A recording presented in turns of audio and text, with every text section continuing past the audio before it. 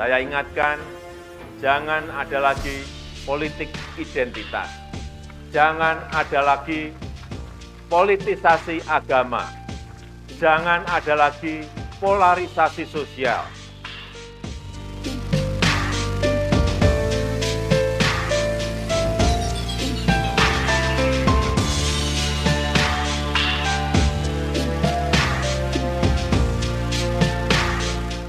Saya juga mengharapkan dukungan dari semua lembaga lembaga negara untuk menjaga dan membangun demokrasi di negeri kita ini, untuk memperkokoh ideologi bangsa.